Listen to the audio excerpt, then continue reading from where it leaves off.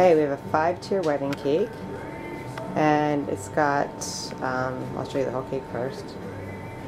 It's got a cascade of flowers, and we have, um, oops, we have peonies and calla lilies, and roses, and garden roses, and orchids, phalaenopsis orchids, and hydrangea, and ranunculus, peony bud, and then all around the sides is um, piped to match the bride's gown with little sort of fluttery flowers that are glittery. I don't know if you can see the glitter. Um, to mimic the bride's gown. So that goes all the way around the whole back of the cake as well.